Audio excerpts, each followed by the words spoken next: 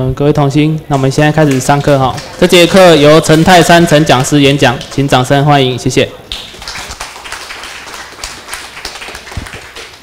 各位初级班的同学，大家午安。啊，看到大家精神抖擞哈，那个打瞌睡的那种想法都不见了哈。反正，今天第二天，呃，我过去都是在礼拜天才有课，啊，今天。我们那个特别安排到今天哈，我来自台东哈，台东有去过的举手。台东，台东，台东，哎，后山，嗯，嗯，来去台东。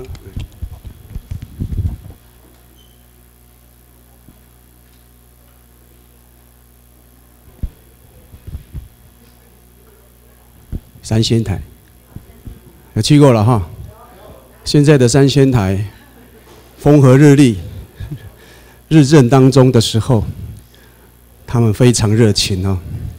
我们怎么那个你躲在屋子里面哈，也会也会晒黑哈，因为 太热情了，所以我这都晒得很黑哈。我们三仙台哈就没有火车，所以我们如果今天要上这个课，买不到火车票的话，我就要零我三点半我就要起床。凌晨四点，从三仙台赶到花莲市，然后到了花莲火车站，才有开才可以搭到六点的火车，然后到这个地方，到这个地方九点，几个小时，好，翻山越岭，七六七个小时了哈。那希望以后哈，那个台湾民政府执政的时候，呃，我们期待那个秘书长的承诺哈，在那个。东部也坐那个高铁，哈，也是坐高铁，哈，这个可能是我们台湾民政府执政第一个最大的这个工程了，哈，嗯，好，看过了，热气球，很漂亮，对不对？对，瑞野高台，哈，如果我们再不执政，哈，我们台湾台东也会被糟蹋，哈，因为那边入资草地的情形也很严重，也很严重。我们光是农地哈，我们现在农地是平用平在卖的啊，平售了哈。以前是一分地三十万、六十万，现在是一平地一万啊。农地哦，不是建地哦，嗯，对，那边啊，博朗大道啊，池上米的故乡哈。其实池上米哈没有那么多了，就这么大而已。结果全台湾都吃得到，吃的吃上米就是很挂马可而已了哈。我们海岸线的米都拿去这边卖，也叫吃上米啊。嗯，好，这是台湾的历史阶段了哈。呃，这个这种历史不是这个流亡政府他们所推的那种历史的微调，呃，课纲微调。我想这个闹得很大哈，那我们就。在这个地方可以找到正正确的历史了哈，正确的历史。嗯，好，那个美日战争啊，美国人称它为太平洋战争。那事实上，对日本大日本帝国而言哈，它叫做要赶出这个殖民政权，因为当时的欧美国家它是先进的国家，列强。就会到来到亚洲，哦，来到亚洲，然后进行他们的这个所谓的那种殖民地的那种开始，所以整个亚洲几乎都被欧欧洲的国家哈所殖民哈，所殖民，因为在呃那个年代，就是那个时候都是兴起的那种帝国主义的一个国家形态哈，所以台湾人，台湾人是。被大日本帝国，因为我们本身是后来被割让出去的一个地方，所以我们对皇帝的概念比较没有哦。可是，在世界各各国哈，对皇帝的概念就会就会存在。那在过去，就好像中国一样嘛哈，呃，天下之大，莫非黄土了哈，也就是土地都是皇帝的，不是不是这个政政那个不是政府的，也不是国家的哈，是皇帝他个人的。我想秘书长上课，我们应该也有这个概念哈。就昨天开始开始讲这个东西哈。好，那个时候有很多国家哈，其实他们来到亚洲，尤其是东南亚、东北亚被殖民的地方，几乎，呃，中国最严重，世界各国都就是所谓的那种八国这个列强去去分割殖民哈。那这个白人的那种态度很高傲，他说，诶，当时的白人有极高的文化优越感哈，认为将这些文化介绍给落后地区的人民，我们这个地方叫落后的地区了哈。是崇高的使命及责任，而白人所负的是责任，不是占领，而是托管。托管的意思就是白人的负担了哈，白人的负担。事实上，我们被殖民的意思就是奴化、奴役这个当地人，奴役当地人啊。然后大英国协，就所谓的英国大英帝国哈，大英帝国在那个时候，它是全世界最大的殖民帝国哈。如果说这样的帝帝国那种制度哈还存在的话哈，我看全世界以现如果以现在来来说哈，全世界有三分之二可能都是美国的土地，因为它最强大嘛。过去是武力强大，我到谁的土地，你打你打输我，这个土地就是我归我管了。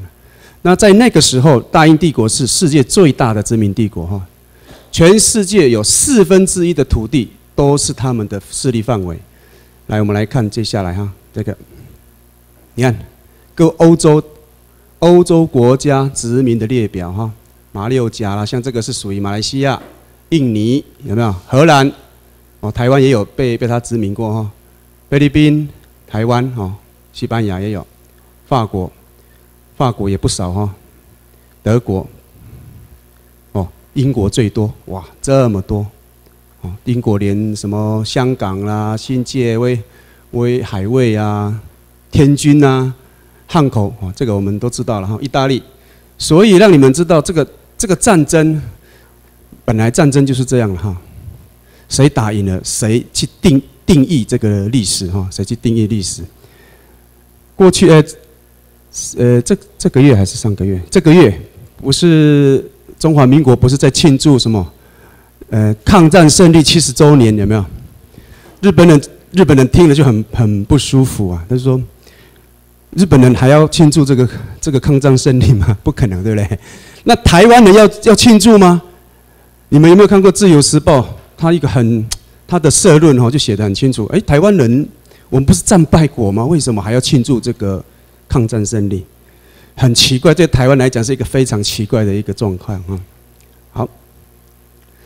然后，因为呃要反这个殖民政权哈，日本就想出了一套，就找了亚洲的几个那个那时候还不是国家，一些一些一些王朝、一些皇帝跟他们合作，所以因此在呃一九三八年的时候，大日本帝国的总理大臣金卫文第二次声明哈。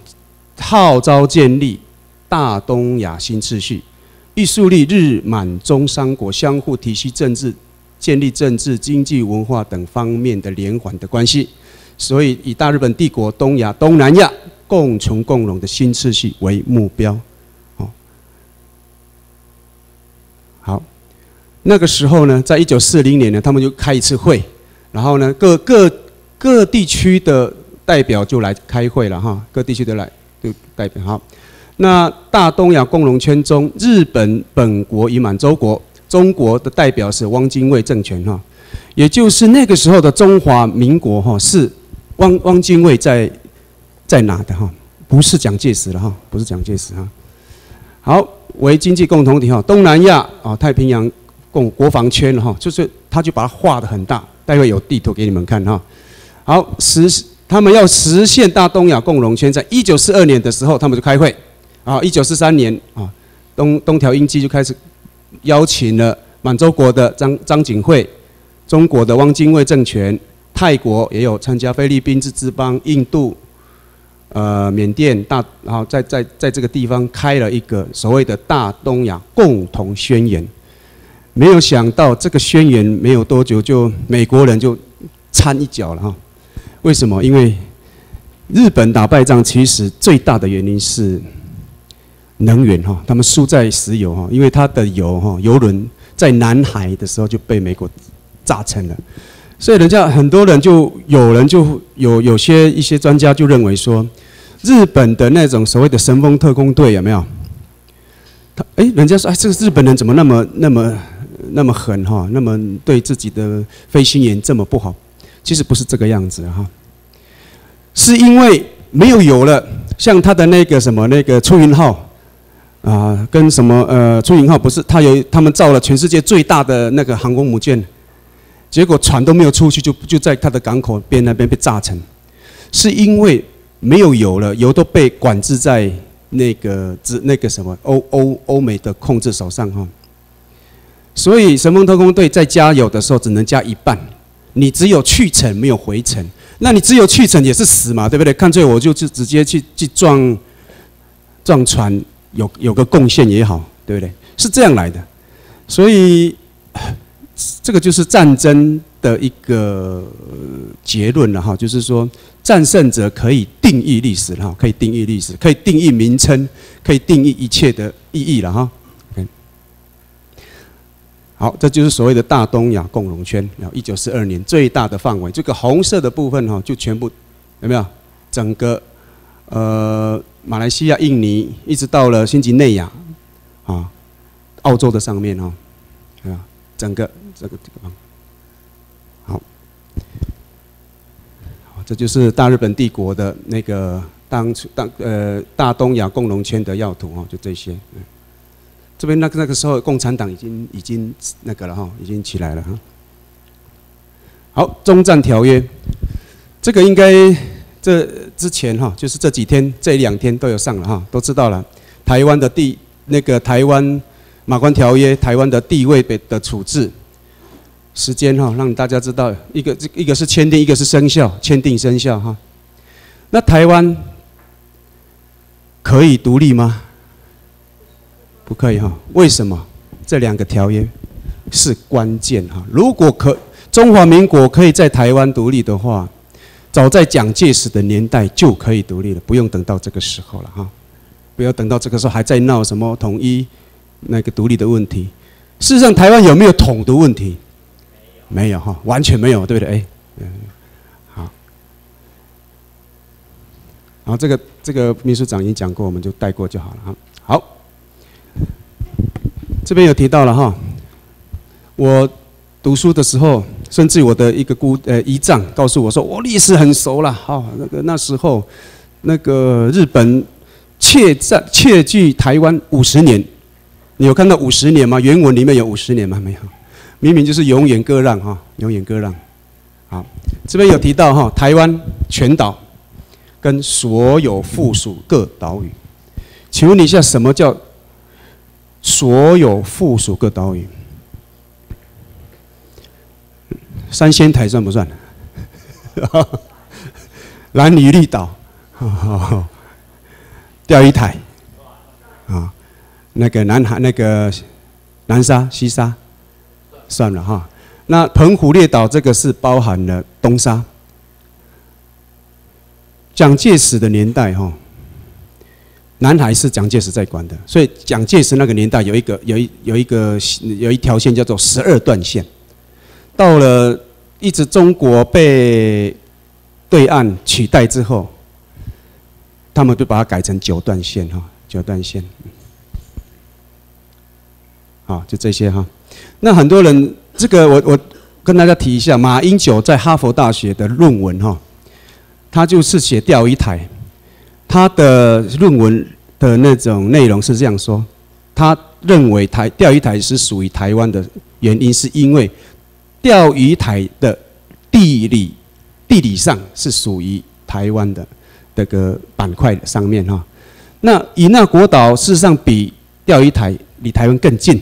为什么我们没有办法主张说以，那在这边那个在这个地方很近嘛，对不对？为什么我们没有办法主张，反而是变成这个琉球群岛的原因，是因为在地理上，台湾哎钓鱼台是属于台湾的附属群岛的范围内啊，附属群岛的范围内。那至于南海这个部分的南沙、西沙，是后来一九三七年日本天皇啊，呃大日本帝国有跟全世界宣宣宣布说，那个部分是属于。我们大日本帝国的。所那那那时候的南沙群岛跟西沙群岛被统称为新南群岛。新南群岛，新南群岛，在一九三七年让呃交给高雄州高雄州来管辖。那么钓鱼台是交由宜兰州来管辖，应该知道这件事情了哈。OK，好，马关条约之后，马关条约之后的台湾地图，你们应该有看过了哈，就这这一块对不对？那这个部分是谁？哦，不是后来浮上来的啦，是本来就有了，只是这个那个在大清帝国的时期，这个叫做什么化外之地，因为。他们管不到这边的人。事实上，我我们是当地人，我们很清楚。只有日本人，我们跟跟他们打过仗。荷兰人曾经有进入到这里，但是也被我们赶走了。最后还是回到我们的部落的形态来过生活。一直到了大日本帝国，大日本帝国来了之后。日本完成了台湾整体的治理主权了，也就是说，他统一了整个台湾的土地了。要不然，这个台湾的土地是分裂的哈，这边这条线是分裂的。好，那我们那个时候，我光是在我们台呃台东，呃有就有两阿美族的社会就有两场抗日的事件啊，抗日的事件，我们来看，啊，对吧？这个我们先了解这个日本。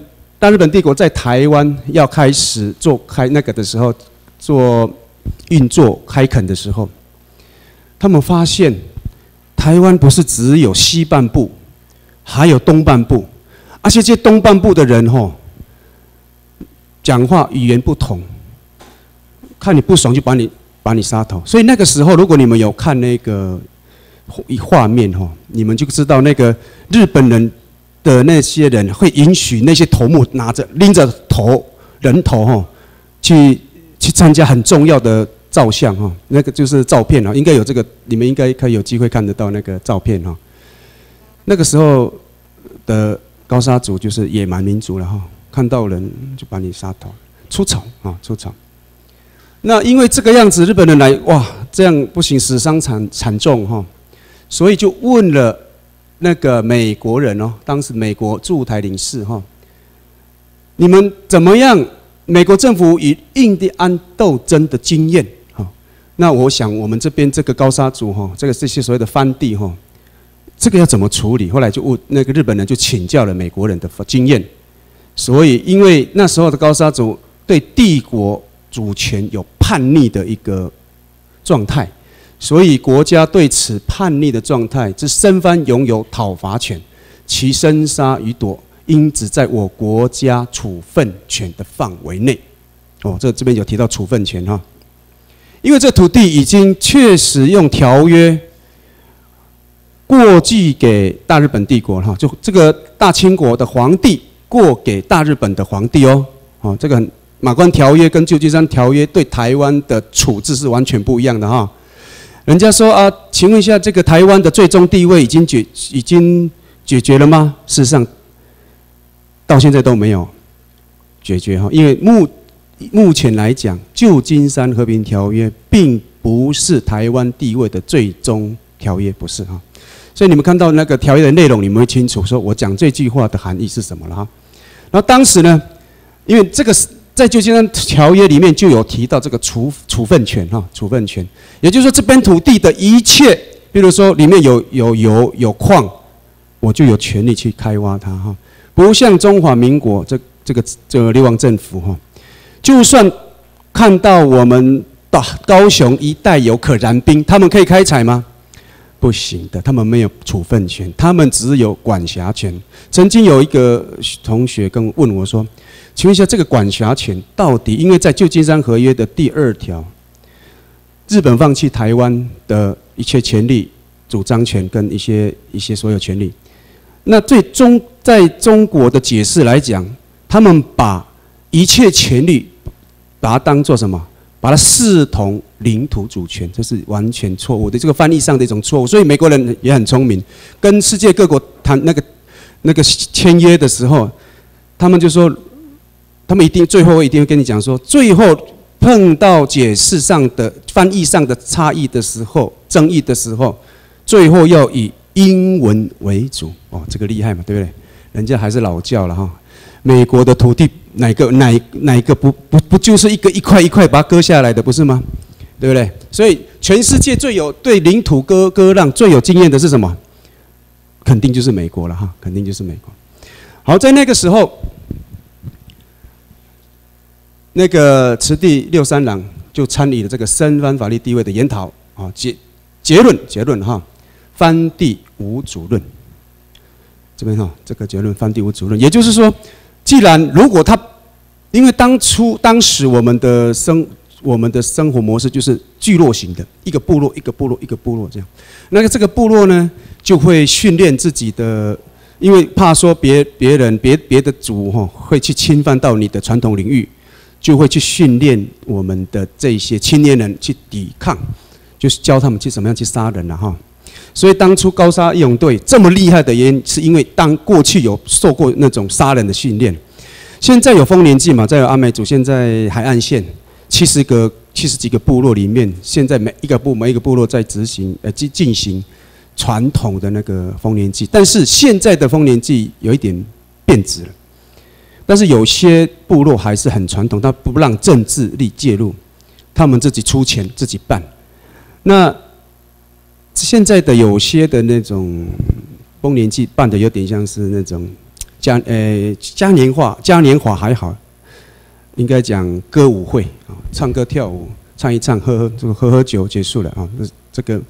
脱离了过去，呃，祖先告诉我们说，这个丰年祭是有它很重大的意义哈。实际上里面包含了教育训练，十二岁以上的人就要被送过去集会所那边接受，从盖房子、野外求生，怎么样去到海边去捕捞，怎么去山上打猎，全部都要学完，甚至于做那种那种军事式的训练。这其实那个那个地方，甚至于。呃，来电五十就是，哎，我是年轻人，我十六岁，我有我是适婚年龄了，啊，那有一群的女女女性跟你同年纪的人，就会开始欣赏这个人，嗯，这个男男生吼，哇，一定很会打猎，这个女男生一定很会潜水哈，就在那个时候就可以就可以得到他们的那种哈，他们的他们的夫妻了哈，他们的那个呃那个缘分哈，所以翻地吴主任就是。部落不是政府，也不是国家，所以呢，他们就要透过征服的方式开始讨那个征服高沙族的领域，所以他们就从南从北到南一直征服征服征服。来，我我举两个例子了哈，武力征服高沙族领域，这个是我比较熟悉的哈。七角川事件在花莲市寿丰那一带哈，因为一个年龄层五百六五五到六百个人。可想而知，他这个聚落非常的大，一个年龄阶层是五岁，五五，怎么不见了？嗯，停电了，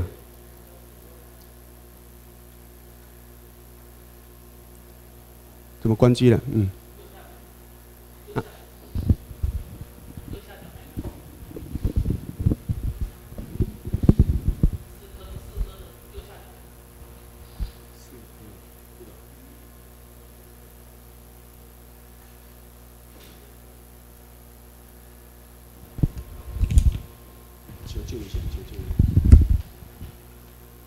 到哪里？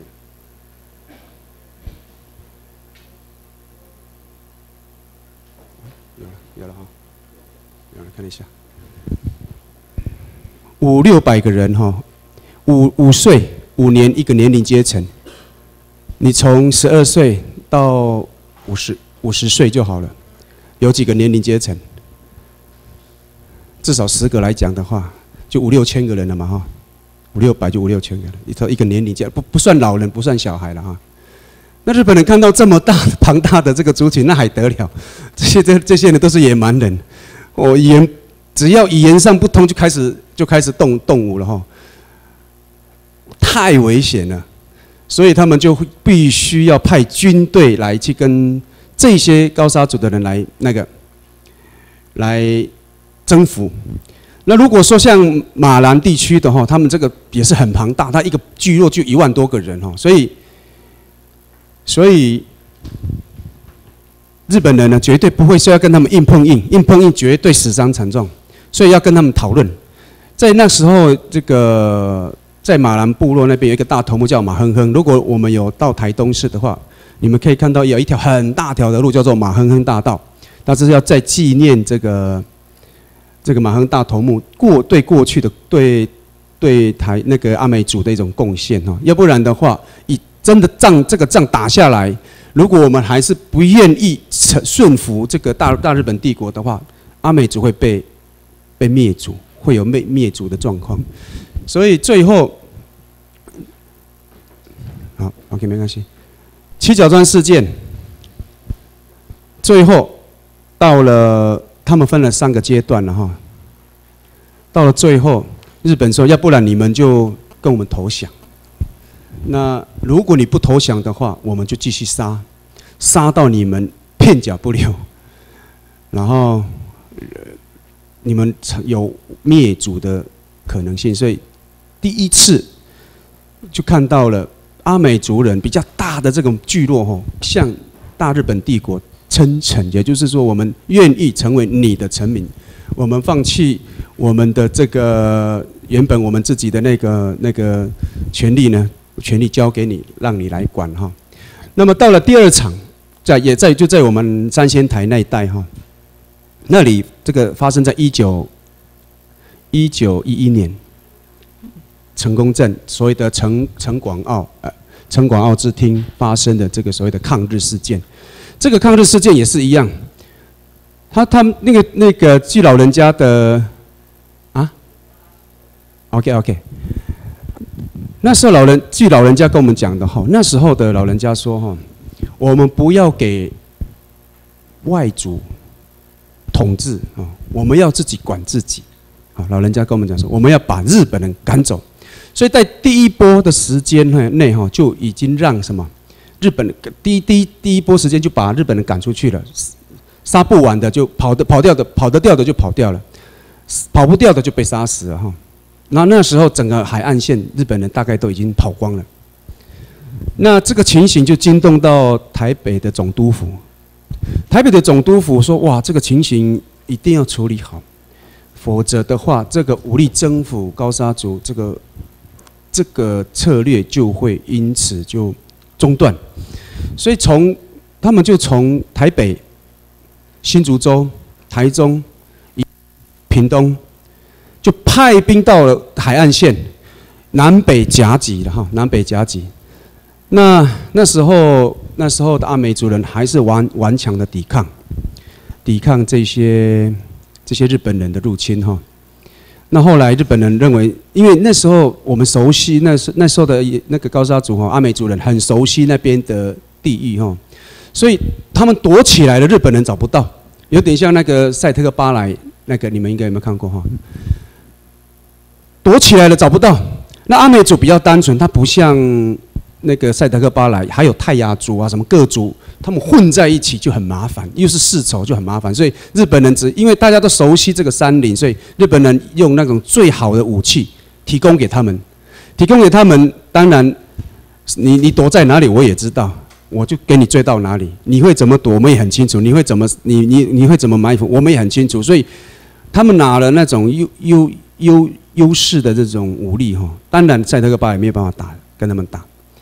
那阿美族不一样，阿美族是很单纯，它是一个民族，他没有别族跟别族的那种冲突，所以他要找我们的人找不到，怎么办？后来就请了那个马兰的那个部落的大头目叫马哼哼，马哼就请马哼说：“你去跟你的族人讲，要么你就投降，就归顺大清帝国，要不然的话，我们就要真的要。”大炮就要进来了哈，一些重重装师就要进来了，到时候被灭族了，我们可可不知道哈。那你请你的跟你的族人讲。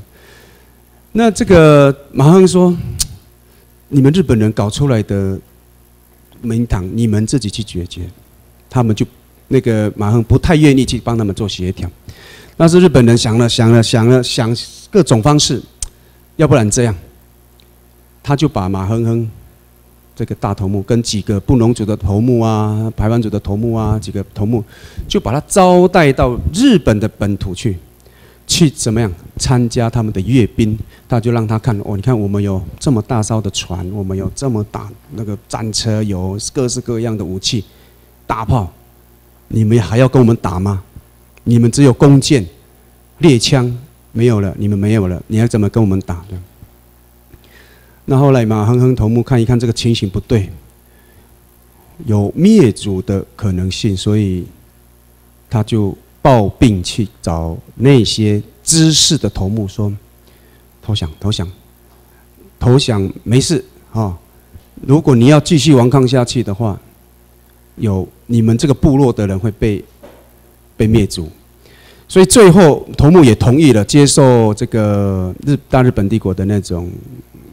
那种处罚，告诉他们说：“你们，我们愿意归顺于大日本帝国，向天皇臣臣服。”最后有，最后就在那个现在所谓的 忠孝国小旁边哈，有一所派出所，叫做过去叫城广奥之厅了哈，就在那个地方举行仪式，说愿意成为大日本帝国的臣民。是这样，我们那那边的两场都是这样，都是有这种归顺的仪式。这个归顺的仪式有一个很重要的概念，就是说臣服了哈，臣服就是我们成为大日本帝国的臣民了，我们不再那个了，那你们就可以派派你们的那一些体制内的那种那种行政长官来管理我们这边的人。那不过初初期还是很多，因为那个语言上啊，一些思想上的差异，所以那个时候就开始我们的这些那个年代的这些祖先哈，就开始接受语言不同，当然就要讲日本话啊，就开始讲日本话，完成了哈。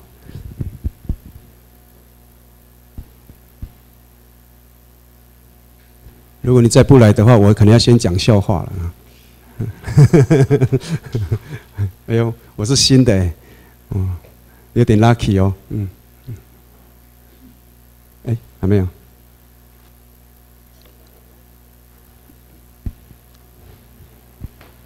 我先讲一个笑话好不好？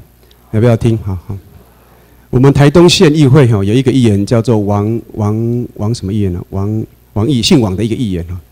他小学应该也也算是毕业了哈。有一次啊，他就起来质询我们台东县的教育局长，他就跟教育局长质询他了。请问教育局长起来啊，教育局长就起来。我想问你，为什么台东县的升学率这么的低落？嗯，啊。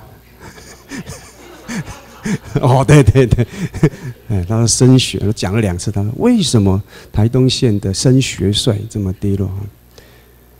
那那个教育局长不知道怎么回答，到底是他预言到底说了什么？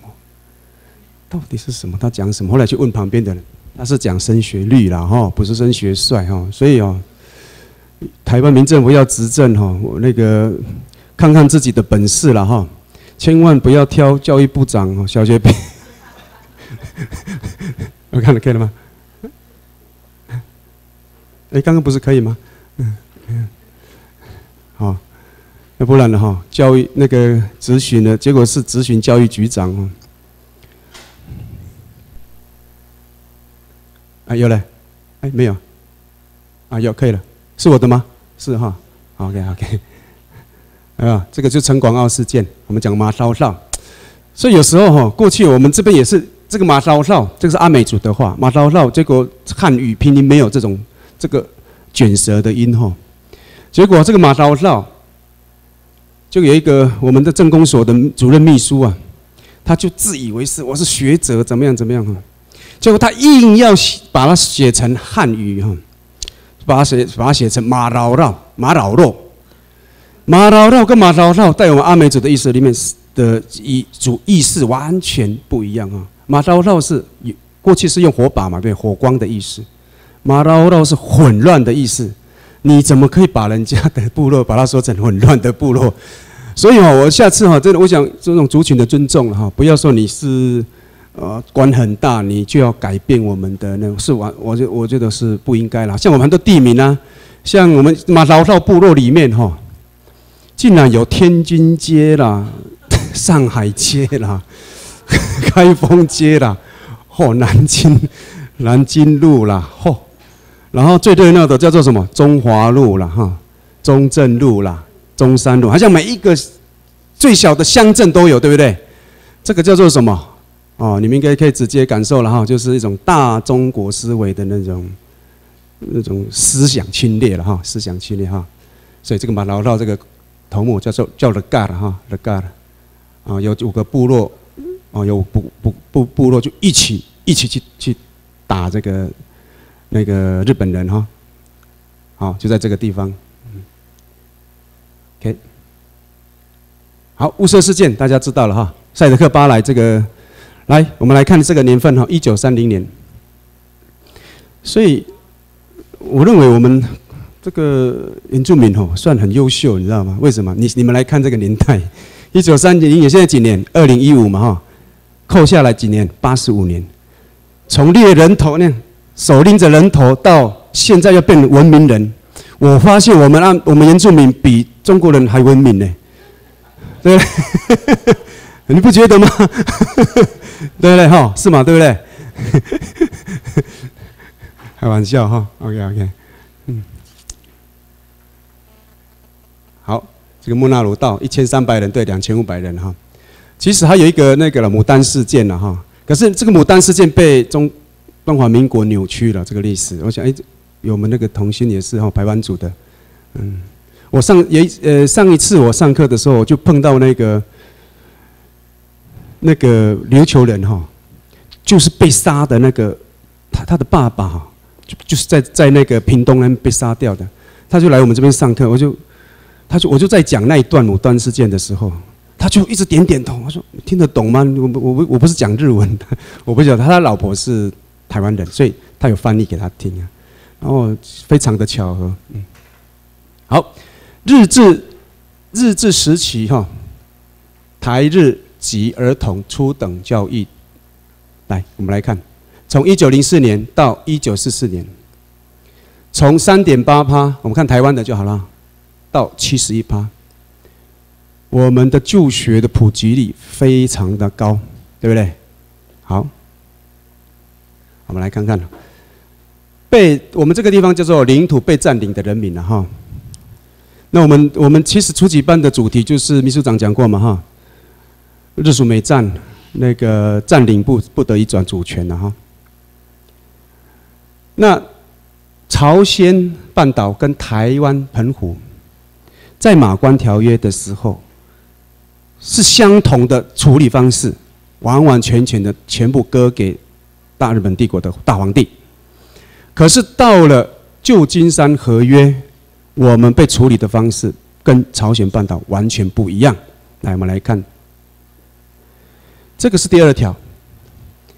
我们看，先查看朝鲜，日本承认朝鲜的独立，哈，写的他直接写，直接写这个，直接写。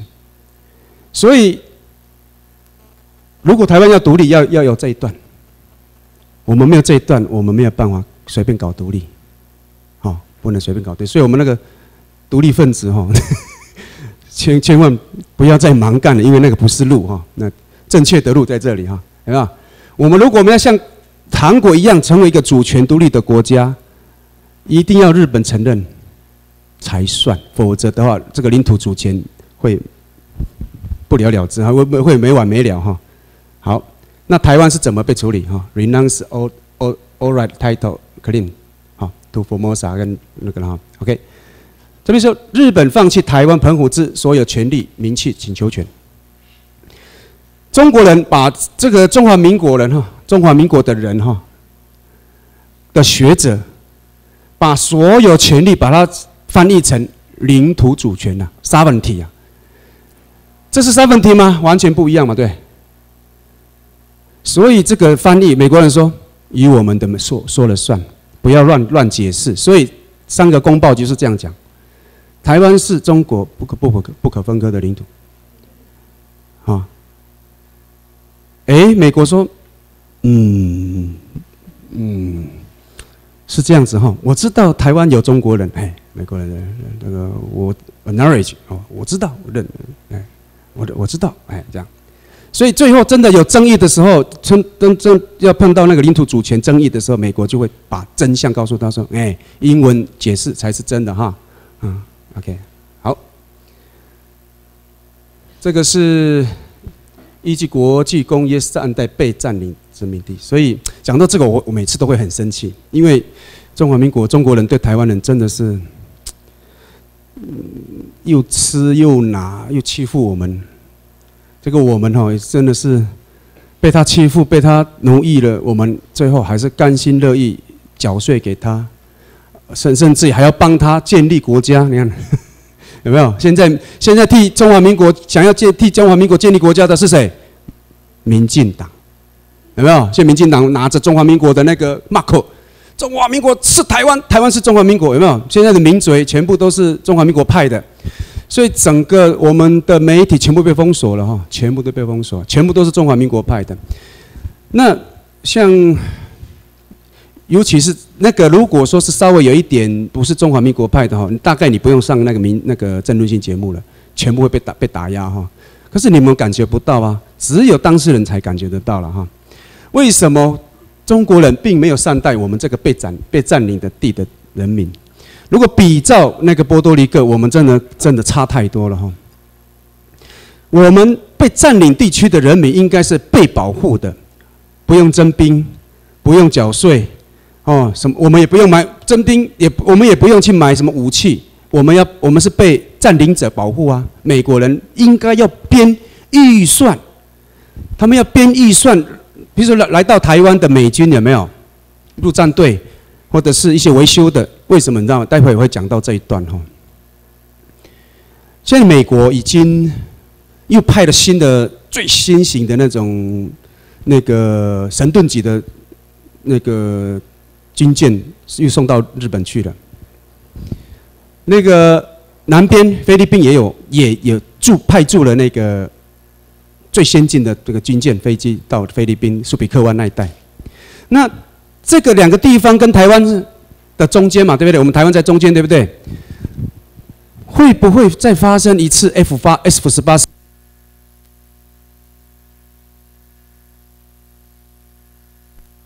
喂，可能还是要看。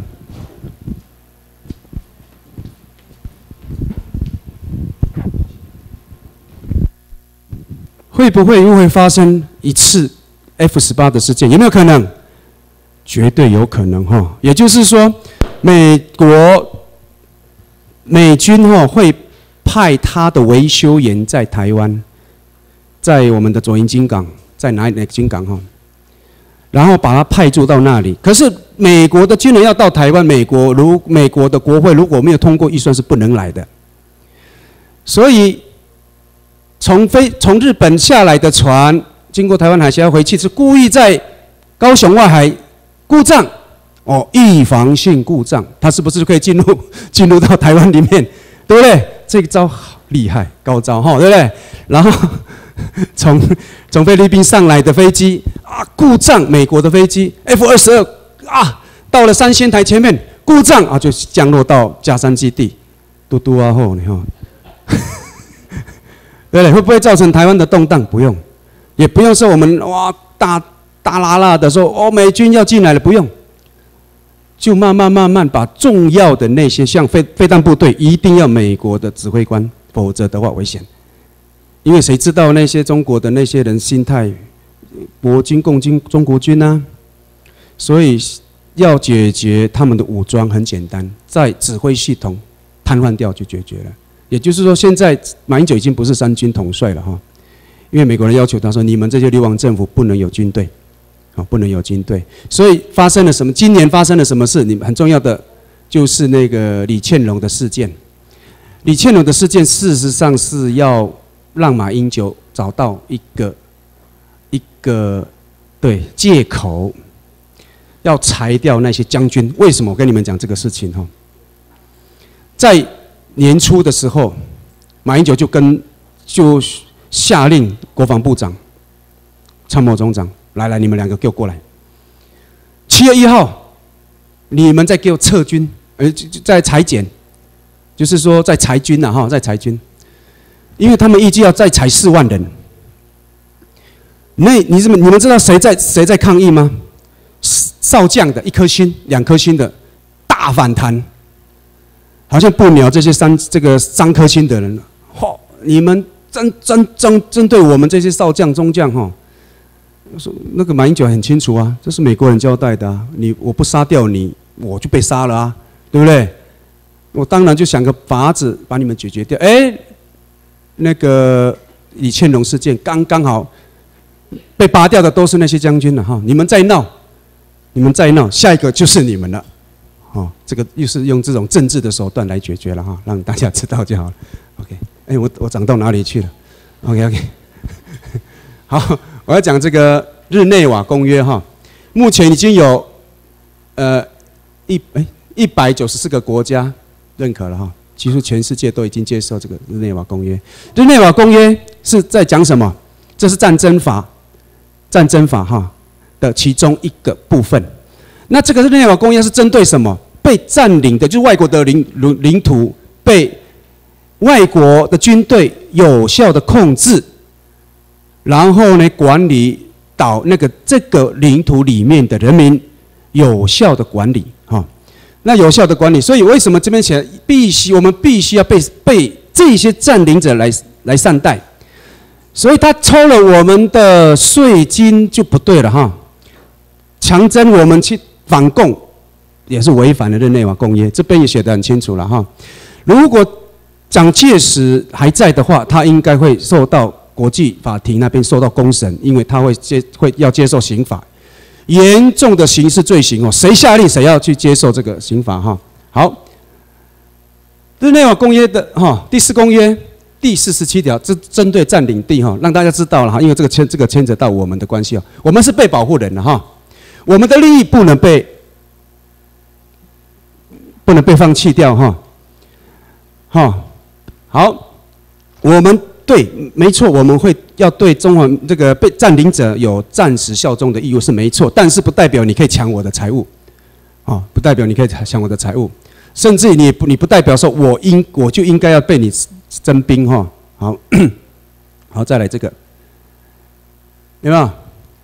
我们也不能被你强集体强制移送驱逐到另外一个领土里面，不属于我们的。也就是说，你不能大大就是就是说，呃，大规模的把我们的人往别的地方去。其实台湾有发生这个事情，在我们那边很严重。我我这个年纪的哈。我现在四十四十四岁哈，我在我的家乡现在是什么情况？你们知道吗？属于保育类的人类。你们知道？你们懂意思吗？濒临绝种了，你知道吗？因为我的同学啊，我这个年纪的，我们这个相仿年纪的啊，在民国七十几年的时候。大规模的全部移到北部去，桃园去，基隆，大规模的。为什么？这个是一个政策上的一个。他虽然说他不是用那种军事命令来牵引你，他用政策的方式让强迫你离开你的故乡，离开你们自己的家乡。我们的祖先是从来不离开家乡的，可是，一到到了我们这个时候，我们我们这个年纪的全部，所以我要找我的堂弟。堂兄弟、堂姐妹、表兄弟、堂姐妹、姑姑、叔叔、伯伯、阿姨，我要到北部去探亲呢，不是很奇怪吗？我们要去看亲我要去北部探亲，这个非常奇怪。嗯，所以他们这个中华民国啊，欠我们了，欠我们太多了哈。嗯，好，再来这里，哦，最要不得的是这个，所以你们是。幸福的人哈，你们是最幸运的人。那些三四年前就来这边受苦受难的前辈们，口袋的口袋本来很深，越来越浅了哈。花自己的时间，花自己的钱，我的车钱也是我自己付的了哈。我们是办就是义工的性质啊。这么久的时间，每次听秘书长讲说，秘书长什么时候执政啊？快了，快了，快了，用不完了。我跟你讲，快了。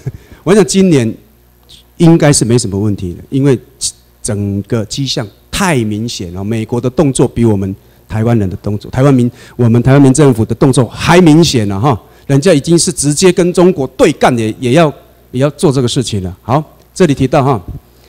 占领国哈应采取一切必要步骤，以便利儿童之辨认其父母之登记。OK，我告我告再再告诉你们一个非常不合理的现象。我阿妈的哥哥，哦，我阿妈的妈呃，我阿妈的妈妈的哥哥跟他的姐姐，哎，我的阿妈了哈。你们知道吗？三个人姓不同，亲兄弟姓不同，一个姓陈，一个姓张，一个姓沈。有没有违反违反了日内瓦公约？有了哈。哎，你多夸张呢？那时候一九四六年，他强迫我们当中国人嘛哈。拿一个碗有没有？十八刀，十八十八刀啊有没有？百家姓他就手了，啪自己挑，十八啦啊！你姓陈。十八啦，很心脏，不应该了哈，对不对？所以这个要追，要不要追？一定要追，太过分了。我都，我们像我有没有？我们这家族最，我们家族就很可怜。我们要追哦，我们要追，开始追我们的祖先哈，追到我的阿公就结束了呢。因为我阿公姓陈嘛，上来没有了，没有姓了。你看我们，我们是不是就是这个？政治联立的人呢，对不对？太可怜了，真的是。好，再来，我们再看五十一条：占领国不得强迫保护人哦，再去武装辅助部队服务，以获得自愿应募得的目的，压迫宣传都不可以。有，就算只是去帮忙也不行，资源性的也不行。所以还强迫我们征兵，我们不去可以吗？我们会被关嘛，对不对？有没有又违反一条了？有没有？哦，这个要素太多了哦。这个中华民国实在是有没有？有没有？被保护人不得强迫担任任何时彼等有参加军事行动的义务工作哦。我们还是义务兵，对不对？这个要不要追讨？要哈。那个不要的举手。要了哈。我们的人权哦，受到受到了那个很大很大的危害哈。OK，好，接下来。主要占领全国，依据条约正确行事。好，我每次在做这种法理论述，跟乡下的那些老人家讲的时候，真的很很难沟通了。因为我们，因为我讲的，他们相信看到电视就变了。为什么？电视上面他又开始那个脑袋又转不过来了。我说我们要不断的讲，不断的讲。你们相不相信？你们这样在这边上课哈？如果你们再不回去看那个新台湾论哦，大概没有多久，大概有效期限不要不到一个月。所以我跟你们打赌，真的没骗你们。哎，回去一定要阅读，要不然就上我们的官网，否则的话，有有有有效期限很短哈。现在这个是新鲜的，多博啊，你这样我一样？嗯，好，好，USA 就是美国哈，确认是台湾群岛的主要占领全国。这个很重要，我我我们 可能大家对主要占领全国的概念没，因为我们没有学过嘛，来了你才知道啊，要不然你们相不相信？你们你们现在信心满满，一回去你们一定是被人家走八八年的，相不相？对，哦，如果你们对这个熟悉度不够的话，很容易被人家打脸了哈。主要占领全为什么主要占领全国很重要？哎。主要占领全国那个第一天晚上不是那个秘书长结束那个温温讲师有没有？他讲说授权关键在于授权，谁的授权？主要占领全国的授权。哎，美国人拿到这个占领全国，杀他们死了多少美国军人？花了多少钱才跟日本那边拿到手？哎，对不对？对不对？美日战争用多少的那个军人的生命取得了这个主要占领全国的权利？耶，不是不是，美国美日战争不是打赢了日本吗？美国不是打赢日本吗？有没有？虽然虽然是两颗原子弹呐，但是哦，对，珍珠港是另外哟，他们那个滩头堡，他们要去抢滩那个琉球啊，一些一些岛屿的时候，哇，死了很多人呢，才拿到这个占领全国的权利。所以美国要代要找一个代理人，美国这个占领全国的授权是关键。中华民国在台湾可以拿到这管辖权，没有美国的授权，它叫做违法，它叫做违法。所以，我们台湾人，尤其是我们有没有申请身份证的？有的举手。啊，这么少啊？没有的举手，没有的，没有的。啊，申请中哦，哦，够机会哦，还有机会哦。哦，那天上掉了两百万美金，你 看你要不要？我说，我说，这是玩笑话了哈。哎，这个怎么赌都赢呢？一千块赌两百万美金，怎么怎么赌都赢呢？对不对？虽然是玩笑话了哈，但是我们我们不是这样想了哈。当然，我们大家都一样，都都没有这样想了哈。事实上，后面是这样想了。OK OK，在在那个台湾关系法哈写的很清楚。哦，待会我调出来，你们就知道了哈。来，好。我们先从主要占领全国确定一下，在旧金山合约的第二十三条，哦，有没有 USA 啊，America，没有 Principal Competing Power 有没有？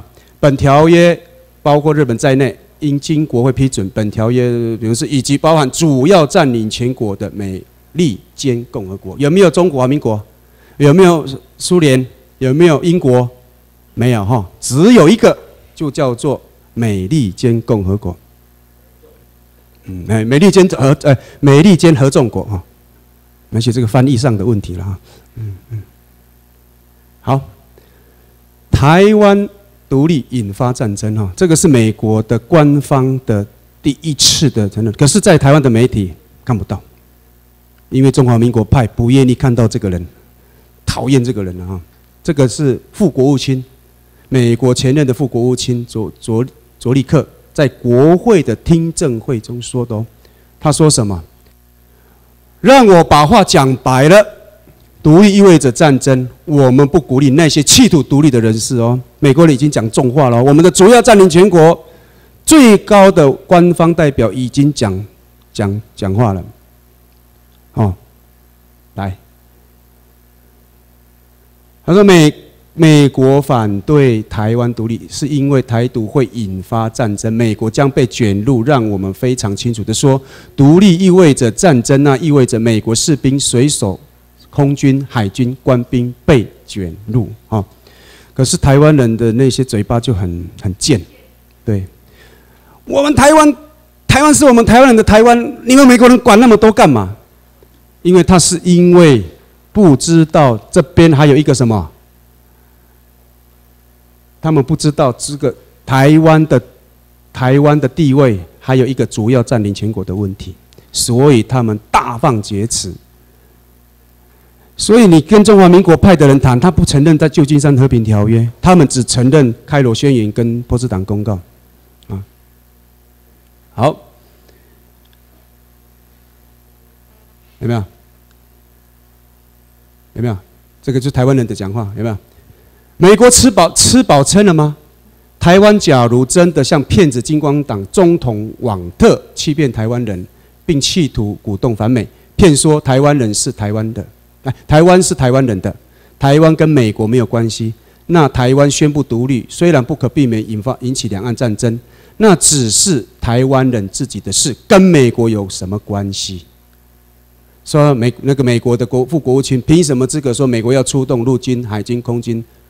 海军陆战队，美国有跟台湾国哈，嗯，台湾国哈或 ROC 啊，Excel 哈，签有任何双边的国际条约吗？没有。那台湾宣布独立跟美国有什么关系？美国吃饱撑了吗？还要还要啊还要为没有关系的台湾人的台湾派出美国大军，要出动陆军、海军、空军和海军陆战队。这个叫大放厥词啊！你们认为台湾有办法去打中国吗？如果只有一个可能，台湾可以宣布独立了，只有一个可能。我建议那个台独分子，我说我有一个方法可以让你们独立，就是你们先打赢美国，再打赢日本，再打赢中国之后，你再宣布独立，有没有理？对吧？哈，你打不过别人，你讲这个话，那个叫做什么？我别供了哈，荒唐，对，荒唐，太离谱了。好，有人就说，台湾是台湾，台独是台独，两者不能混为一谈。哈，意思就是说，台湾是美国暂时呃暂时占领地，日本台湾，台湾也是日本领土的日本台湾。台独是台独，美国不会因为台台湾独立建国，所以台美国不会台湾为为台湾独立而战然后因为美台湾独立跟美国有什么关系？你要我死，我的军人跟你。你台湾给我什么好处？没有嘛，对不对？不能混为一谈哈。更重要的是，美国不会同意允许台湾独立于自美国与日本。美国是指什么？旧金山和平条约。日本是什么？马关条约。马关条约哈，并没有在旧金山合约那边把它删除掉，没有，并没有哈。OK。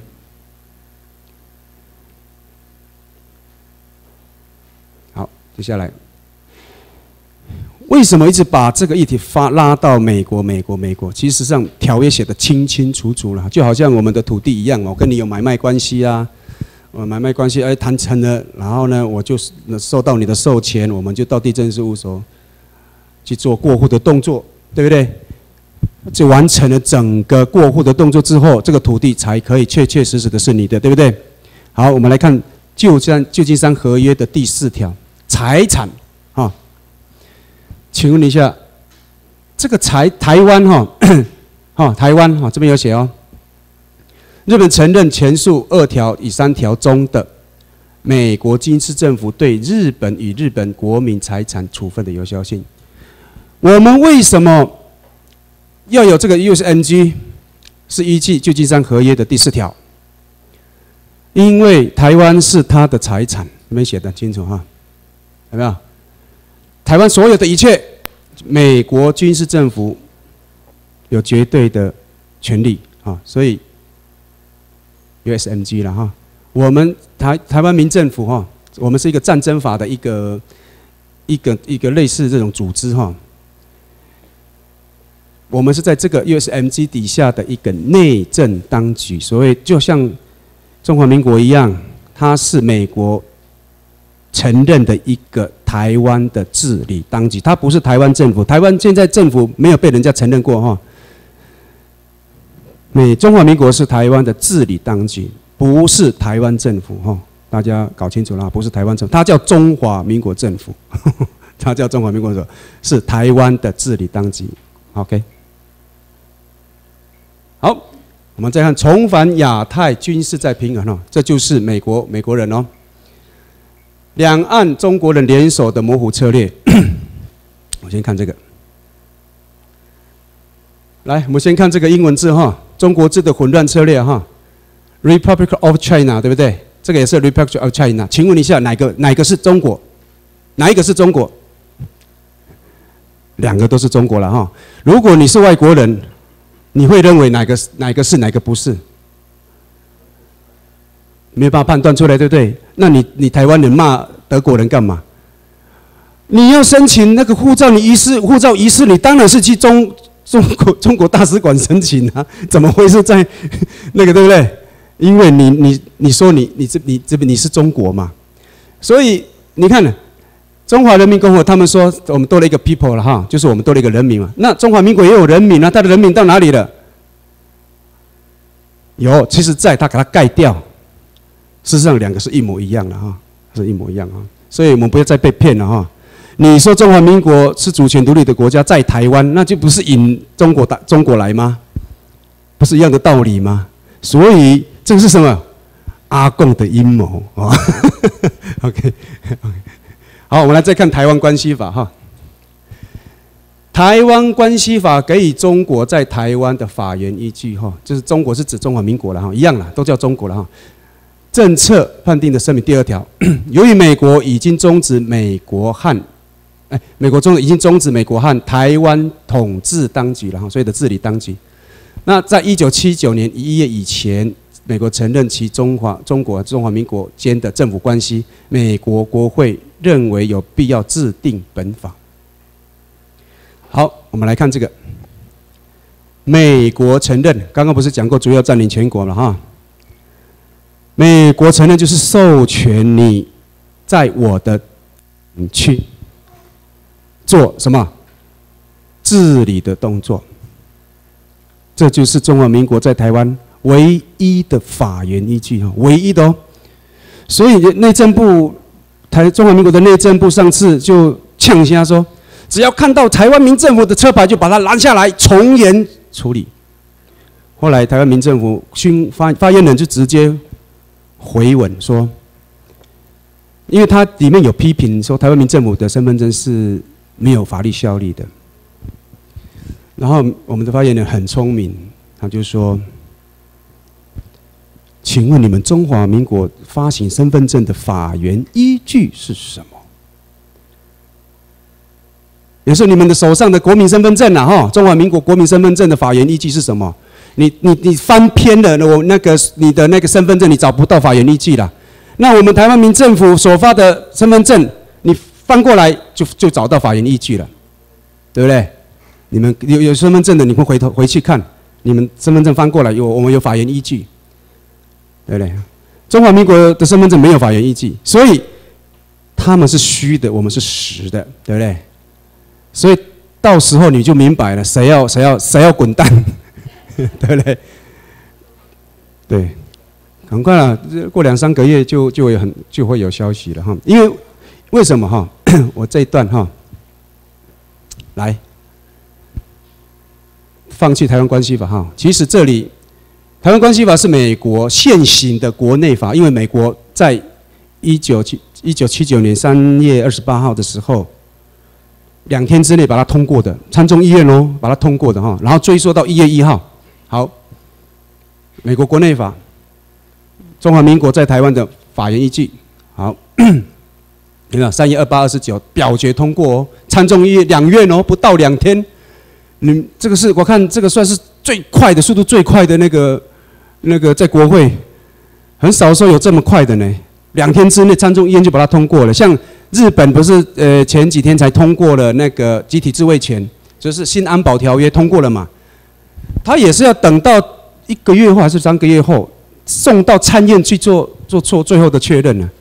他一两天之内就把它搞定了哈。好，在这里了哈，主要是他美国授权继续维持美国人民与台湾土地上所有人民间，the people on Taiwan，我们就在北这个台湾关系吧，给，也是我中华呃台湾人哈。被我们中华民国视同视为什么中国籍？好，所以我们但是呢，我们在台湾，所以 the people on Taiwan 就从台湾就把它把我们包含在他们里面了哈。那台湾关系法其实有一个很重要的一个目的，就是要取消，就是废除了、取代了、取代废除的中美共同防御条约。为什么我会讲到这个中美共同防防御条约？你们知道吗？如果按照《一九金山和平条约》的最后一条规定，他说，如果日本也好，美国也好，只要有签跟中华民国签什么防御条约，中华民国的军队可以在台湾驻留。如果没有跟美国也好、日本签条约，中华民国的军队要撤出台湾，来，我们来看这个。来来来，这个，除美军以外，应尽速自日本领土撤出。台湾是日本的领土，照理讲，它必须在旧金山合约一九五二年四月二十八号生效的时候，中华民国的军队就应该要撤出台湾。结果没有，在一九五二年。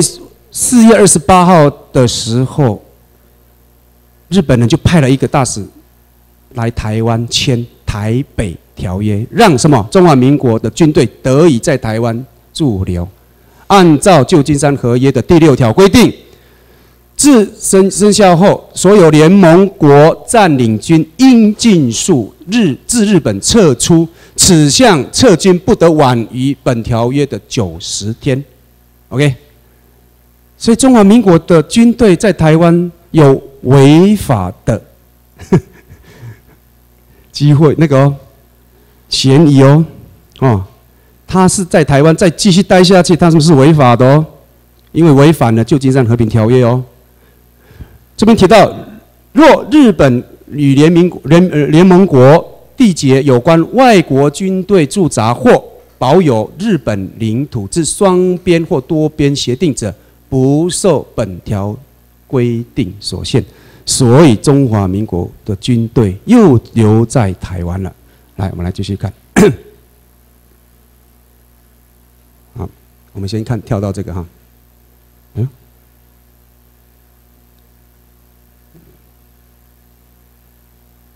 我们来先看那个台湾关那个。嗯跑到哪里去了？嗯，我们来看台北条约哈。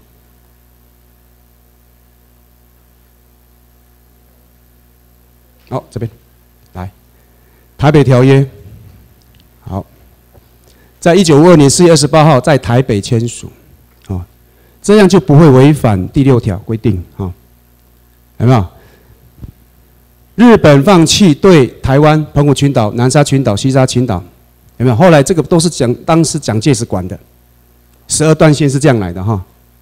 OK，台北条约在一九七二年九月二十九日，台北条约失效，因为中华民国已经不是国家了，所以他就并没虽然中华民国不是国家，但是呢，并没有继承给中华人民共和国，所以日本就直接宣布。台北条约失效，好，好，我们来看这个。一九五五年，时任中华民国的外交部长叶公超向立法院解释这条这条款子的时候，并未规定把这些岛屿还给中国，哈，没有，哦。叶公叶公超说，旧金山合约也没有条文要决定台湾澎湖的前途。一九五二年十月五月十三日，中华民国外交部。中日合约的报告查旧金山合约仅规定日本放弃台湾澎湖，而未认定其谁属。此点自中日合约能补救了哈。也就是说，从如果台台湾就是中华民国，中中华民国是就是台湾，早在蒋介石的年代就可以处理台湾的地位了了哈。事实上，他们那个时候就已经在日属美战了。只是我们把这个舆论全部都淹没掉了，啊，有没有？一九五二年五月二十七号，日本参议院就在问那个外务省亚洲局的局长，第十条，因为第十条牵扯到这个台湾的问题哈，这主要为了台湾及澎湖岛的著名城市那里的著名要来到日本前往其他的国家方便而设的哈。所谓的方便，譬如说在法律上，啊，因为台湾澎湖最终的领土归属还不清楚，一旦旧金山合约生效，台湾及澎湖群岛就会脱离我国，我国就是指日本哈，一脱离我国，则向来被称为台湾籍人民的人们就会失去日本的国籍，而后处于国籍不明的状态之下，是很不方便，因为牵扯到旅行的时候要用哪一种护照，所以台湾民政府一成立，第一个要求的就是旅行证件，要证明你的身份。你是你是不是还有日本的关系在？大日本帝国的关系在，所以很多人可能不了解这个部分哦。这个这个是整个整个我们整个运作的核心呐哈。身份证，身份证，你有了身份证才可以申请旅行证件。那美国人 在去年本来说要就要跟他争取说，我们的人已经训练的差不多了，是不是可以让我们执政了？美国说。我呃，是不是可以发行那个那个旅行证件呢？结果美国说，如果发我旅行证件给你，就是我就视同承认台湾民政府执政了。OK，这是秘书长亲口跟我们讲的了哈。只要旅行证件到手的第一天，台湾民政府执政就生效了哈，就开始了哈，有效了。也就是说，我们可以拿那个旅行证件到处走透透，到美国的邦交国一百九十四个免签证的地方，人家都会承认你了哈。那全世界都承认你台湾民民政府的时候，中华民国还有存在存在台湾的必要吗？没了嘛，对不对？好，继续。好，这里提到我们要讲到的是我们的国籍的问题，因为这一次二月二十八号，今年的二月二十八号，台湾民呃林台湾民政府由林志深秘书长跟他的夫人共同的来控告美国跟中华民国，因为中华民国没有法源依据了哈，他最。第第十条台北条约的第十条是说，视为具有中华民国国籍。什么叫视为？视为的规定，不是中国籍，所以是把你视为就视同了啊，一样的，我们都一样的哈。是被我们的我们的国籍是这样被处理掉的哈，所以告他们刚刚好而已了哈，告他们是刚刚好，也就是说中华民国的国籍迟早会被美国判什么？判无效，没有任何法源依据。因为告诉各位，这个第十条是什么？台北条约，台北条约早就已经失效了。你说这个官司是不是百分之百赢？对不对？除非那个法官暂时眼睛痛，否则 应该几率不大了哈。这个太这种很严谨的哈，这个太大了这个问题哈。OK，有没有四维？有没有？我们都是被视为的了。我就想嘛，我们这个高这个原住民哈，这个高沙族哈，什么时候跟中国有关系啊？对不对？我 的我们这边至少两千年了，跟中国一点关系都没有。你而且大清帝国也从来没有打过我们那边呐，对不对？化外之地啊，我们是化外之地，怎么跟他们有什么关系啊？好，有没有？好，我们再看回去了哈。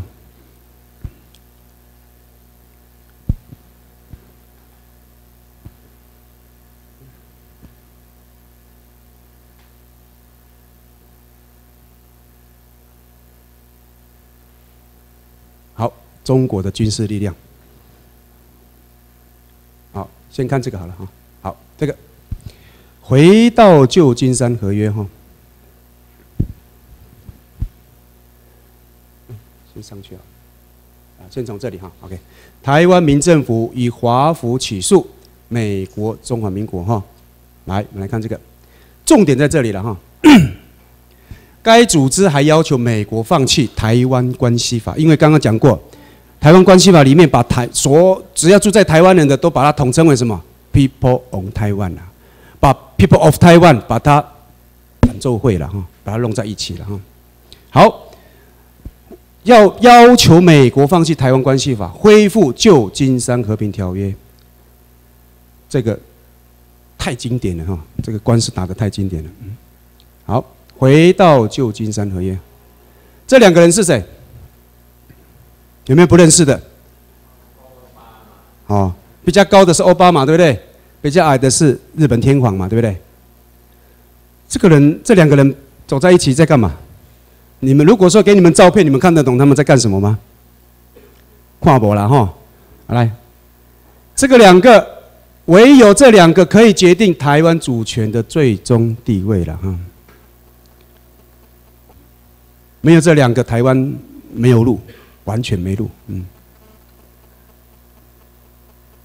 好，这是在任的美国总统首次表明确表示，钓鱼台的问题适用于美日美安保条约。现在日美安保条约又有新版本了哈，去年的照片哦，我们就开始预告，但是雷人就说啊，你们又在那边黑白讲了，我被供。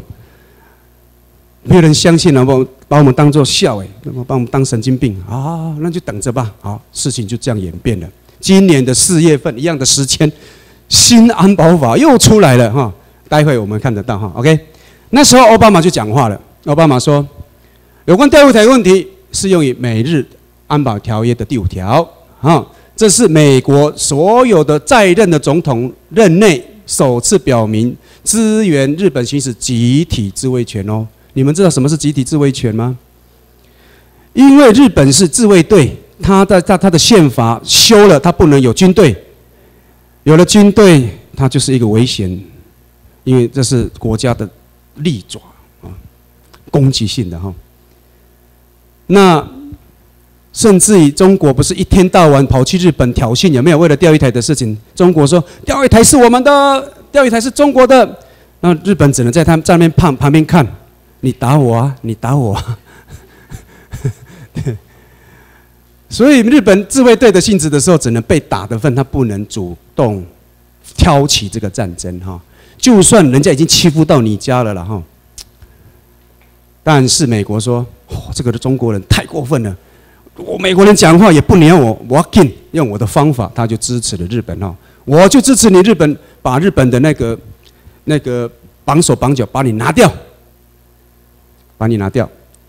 然后奥巴马又说，在我的指挥下，美国将在亚太地区与日本紧密合作，再次发挥主导作用。奥巴马表示亲自主导亚太再平衡的战略，这是美国的战略，在台湾不会谈这个了哈。你看不到媒体有在谈这个吧？有没有？都是骂安倍的啦，骂骂那个奥巴马的比较多了啊。说啊，奥巴马执政下经济搞得不好，好像不太像，不太是呢哈。那中国的。中其实哈，中国的那个不是，它是连续三个礼拜就崩盘百分之三十吗？那个股票其实早就有预警的。中国的一些财经专家早就在警告说，中国的经济会完蛋，没有人敢相信。在台湾听不到这种声音，因为台湾百分之九十以上的媒体早就被怎么样中资了。有一次在骂那个慈济，不是骂什么敛财啊什么？后来有两个主持人被那个董事长骂说不要来上班了。我们那个正经现实批的那个，他们一直批判那个慈济嘛，然后就把它 fire 掉。那但当然我们不今天不是要谈宗教，我是要谈的是说，台湾的媒体是受到有权力的人的控制了哈。只是我们发觉，因为我们其实你看我们我现在看我们电视看新闻，你就把它当做是消遣就好了，不要相信了。你想到。不好的你就讲，你就颠倒想。他在骂安倍不好的时候啊，安倍一定做得很好啊。安倍的经济弄不好的时候啊，安倍的经济一定很好。哎，都颠倒看。如果说他说中国多强多强，那你要颠倒看啊，要要颠倒看。哦，好，再来。就有记者问奥巴马哈，他说中国若以武力进犯钓鱼台，就视同美国动武。好，又有一个问，如果是中华民国的武力呢？进入到钓鱼台主权领海，入侵美军的防守，视同什么？外国武力了哈。中华民国叫做外国，嗯，是美国人讲的了，不是我讲的啊。OK，再来。好，这是中国的流亡教授严宏斌在台湾的主张，结果要现在搞独立的是中国人呐！你看，创建台湾共和国啊！这个跟我们没有完全没关系哦，哈！我先先声明一下，我们是台湾 civil government 哦，是战争法的那个哦，依据战争法的那个规定而成立的一个那个民民政组织哦。你看有没有？决战二零一六，创建台湾共和国，怎么会是中国人在台湾创建？你们不觉得很奇怪吗？很矛盾了哈，有没有？严宏斌指出，《创建台湾共和国》一书想表达中华民国在台湾的正当性，因为已经那个国民党的权贵已经叛卖了而消失了，这中华民国已经不见了啦。哦，现在可以是时机了，如果你时机过了就没机会了了哈。所以他建议组建、创建台湾共和国。那不过他讲那个中国的内部，我我是很欣赏啊，因为他讲的太太经典了哈。因为他说，那个习近平不是在打贪吗？有没有打贪打到最后他自己也打到骨折了？你知道，自己你看打人打人什么？打人三分哦，对不对？什么七七伤拳哦？这种是不是打人家呃七呃自己伤自己伤三分了？是不是哈？对，打人七分自己伤三分了，他自己也伤了。为什么？因为。中国打贪一定打到最最上层，所以打到江泽民的系统。江泽民的系统就是军方，军方的最那个习近平达到最高的是谁？徐才厚，徐才厚是中央军委会的副主委，副主任副主任委员，打了这么高，那后来他们发现徐才厚的钱富可敌国，两千多亿美金，相当于中国一年的国防预算，两千多亿美金，所以他可以富可敌国。所以现在你看到的经济的崩盘是江泽民系统的一个反扑，这只是第一波，陆陆续续从经济、从军事、从各角度、从民族的角度，慢慢慢慢要进入到习近平的那个问题核心里面了哈。好，我们这个看过去就好了，OK。这个是也是中国的那个哈，他就在预言，他说，二零一七年到二零二一年，美日安安保条约哈，二零一七年日美把台湾纳入美日安保条约，二零一七年美宙斯盾驱逐舰部署日本，其实他晚估了，今年就来了，今年是二零一五年嘛哈，宙斯盾早就来来日本了，那个台那个日日美安美条约早就把台湾纳入了。今年就纳入新安保里面，就把台湾海峡画一条线，一直到菲律宾，有没有？二零一七年，中国逼迫台湾签订两岸和平协定，好，这政治统一了哈。CIA 中国入侵台湾之间的冲突哈，慢慢慢就会发生这些事情哈。然后二零三零年待续讲的，美国全球战略肢解中国。这是最新的了哈，中国免签，台湾天真到真的到蠢哈，真的到蠢哈。他说，台胞证免签不是优惠，不是放松，是收紧。随即推出的卡式台胞证，本质上是晶片版的中国台湾身份证。好，免签只是弱化内政化的一一个跨步哈，花招还在后面。台胞免免证这件事，国民党当做。对岸的善意，方便两岸交流的好事，民进党则批评了哈。这三种反应都是天真的反应。恕我直言，台湾对中国的政治的无知已经天真到愚蠢的地步。这个是一个这个人，这个人讲的，这句话是这个人讲的，好吗？《金周刊》九九六九六六起了哈。好，所以不是只有我们在申请身份证。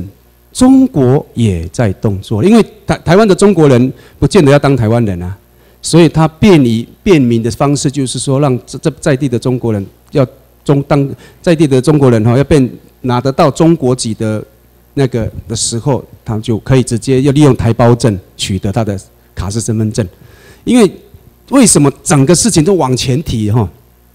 人家专家预估是二零一七年，可是我提早了两年，今年可能就会发生的这些事情啊。都会发生，因为如果中如果中华民国的国那个无国籍无效判决的时候，你们知道会发生什么事？秘书长有没有跟你们宣布？还没有嘛哈啊，明天让他宣布好了。太早宣布，等一下有有同性就会骂我。你不要早在秘书长前面讲，没关系哈，开玩笑哈。OK，好。天大的消息哈，有没有看到这个这几天的消息哈？民进党正在与老共秘密谈判，这是美国的 A 那个一有两任了哈，博瑞光 AIT 的处长讲的哈。啊，博瑞光的意思说，你们台湾人为什么不不不问蔡问蔡英文说要去中国干什么？也就是说，蔡英文想要取代国民党，变成中华民国的正统啊，中华民国的正统啊，好，有没有？这是好几两家媒体哦，不同的媒体报道了，博瑞公透露的，老共正与民进党正在秘密谈判。哎，这边有没有民进党的哈？哎，我没有，没有，我没有要那个诋毁民进党哈，只是我不太认同他这个做法而已哈，好。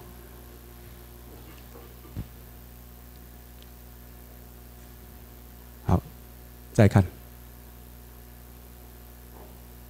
在博瑞光哈好，刚刚不是讲说中华民国的国籍被判无效的时候会发生什么事？秘书长讲好，先讲好了啦，选举停止。好，选举你讲了好几次了，我可以讲了哈。选选举停止，那是我们内部讲，也是公开讲的，因为我们网络 YouTube 那边都看得到。这是美马英九这次去美国亲自讲的哦。马英九赴美沟通，称明年的大选恐有变局。到美国沟通，为什么大选会有变局？台湾人听听看不懂这个事情，所以台湾的学者就在讲说，到底美马英九讲什么？他们就在讲说，啊，是不是要把洪秀柱换掉？有没有？啊，外界什么提到大选恐有变局，让外界联想是否马英九也不看好立法院副院长洪秀柱的选情？大概我们一般搞选举的人就喜欢把它引导到这个地方哈。有来这边上课的人就会看得懂马英九在讲什么，对不对？哦，对吗？对，对对，OK。只有台湾民政府上过课的人就就会看得懂这个在干什么哈。啊，嗯，所以不是只有秘书长讲停止选举了，是马英九已经在预告，嘿嘿嘿，恐有变局，在做铺路的动作了啦哈。嗯，OK，这个还不够明确吗？你们还想选吗？我讲到这个选举，我就气死了，我又要生气了，因为我有享受过那个三十块了，因为我选过举啊，我知道啊。你投我一票，我就拿你三十块啊。对呀，这个这个故事应该有听过了哈，不是故事是真实的啦。你说我们办一场选举呢，我们要花好几百亿呢，从我们纳税人的口袋拿出来的钱去给这些候选人，你们知道吗？候选人一个三十块呢，不管你当选落选，在不没有你只要符超过门槛，你就可以去领这个一票三十块。好，我举一个例子就好了。蔡英文上一届六百多万票，对不对？六三多少一亿八千万入到蔡英文的口袋，然后他们的政党票以六百万来讲的话，民进党拿多少？六五三十拿了三亿，连续拿了四年，等多少？十二亿。你说民进党没钱吗？有钱的要命哦！他们民他们的主委一个月薪水比部长还高呢，嗯，很夸张哈。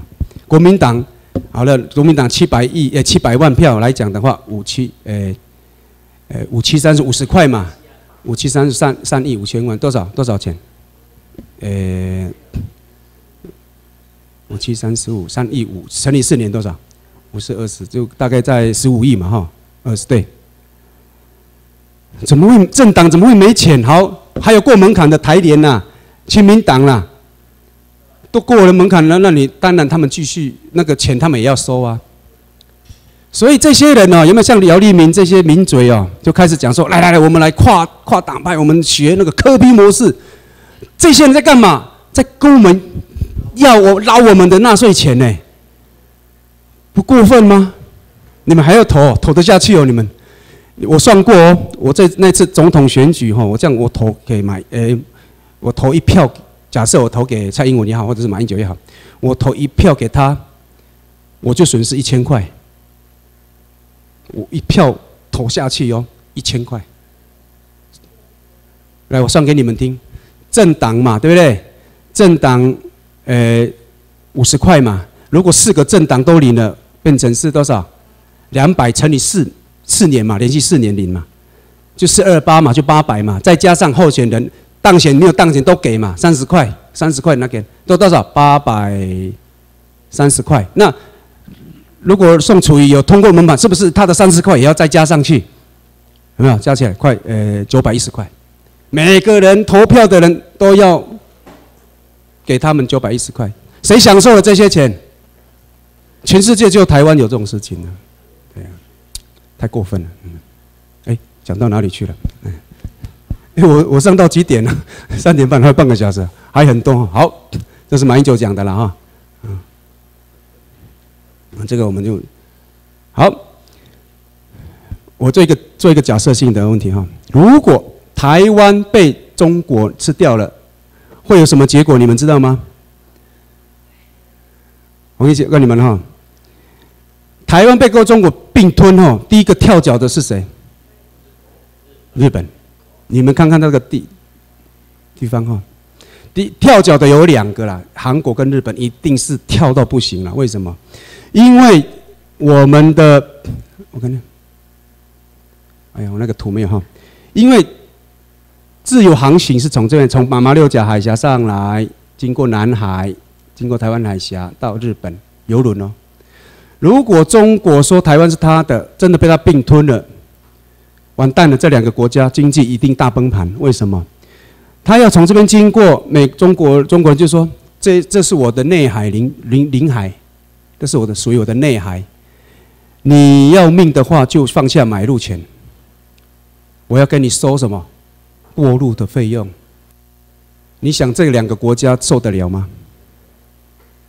所以韩国，你不要在那边。”啊，安了安了安了，什么对看不起我们台湾人？我告诉你，台湾我守不住，你也倒霉，对不对？所以看台湾一定要怎么看？要看美日台韩这个国家来看。如果以中华民国的武力，当然肯定打不过这个中国。但是台湾、日本、美国结合的时候，中国你就不是他们的对手了哈。所以这个台湾的地位哈，是因为这个元素，台湾是不可能也不会啦，成为中国的领土。为什么会引发世界的战争了哈？所以中国他要很小心的来那个处理这个事情。好，再来就是新安保条约，就是今年准备呃刚这几天刚通过的众议院。我我去年呃年初我就开始讲。美日本的众议院有四百八十席，安倍的政党拿到两百九十四席，再加上他的友党公民党三十一席，刚刚好三百二十五席。四百八十席的百三分之二是三百二十席，所以这两个两个党只要合作，集体自卫权就会通过。我们年初就开始讲，人家讲说真的假的，发生了这个事情就发生了，所以预计在一个月后。会追认给给美日本的参议院通过，就可以拨款，就可以进行这个这个这个策略的战政策了哈。所以台湾人不要再用台湾人的角度来看全世界。虽然媒体封锁了我们的视野哈，眼睛我们就瞎了一样哈，但是没有关系，还有民政府在，台湾民政府在把这个信息告诉你们，我们很努力哈。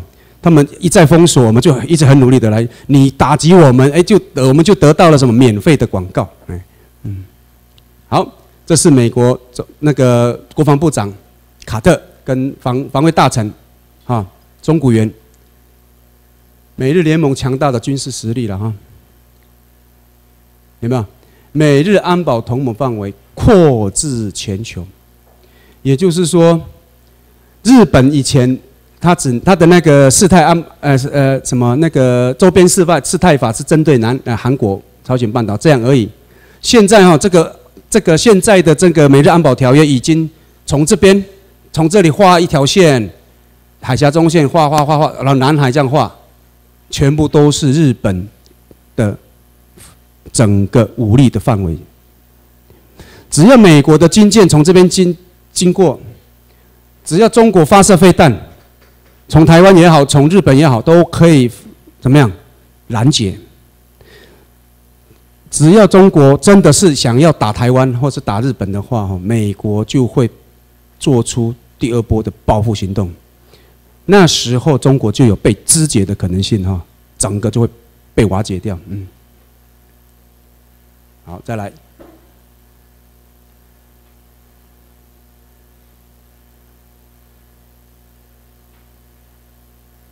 哦，这个就是周边有事法了哈。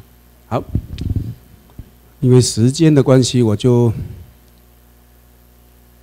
啊，这是奥巴马哈，这个一定要讲。奥巴马说，中国南海的作为是侵略。侵略是什么意思？侵犯到人家的领土了哈，就叫侵略了哈。所以日中国在南海造岛叫做什么？没，奥巴马已经呛下了，只要已经到了。元首的层级，大概这个事情就就没有办法善了了哈。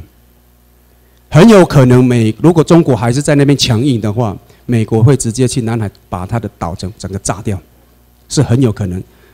我们网络那边的消息是说，可能是那个 B one 轰炸轰炸机哈，待会有有画面哦，让你们知道，已经到了总统层级了哈，这个就不是不是开玩笑的哈，啊，奥巴马说。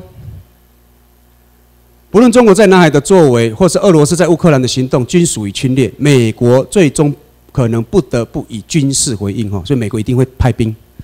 他已经讲得很确定了哈。好，这里说，他说二十一世纪孤立主义绝非是美国的选项，我们不能对国界以外的事视而不见。好，所谓的国界哈，它包括核子安全、恐怖主义。不受遏制的区域侵略行为，就像中国，不论是在南海、南乌克兰或南南中国海，或是世界其他地区，这件事情都会把美军卷入。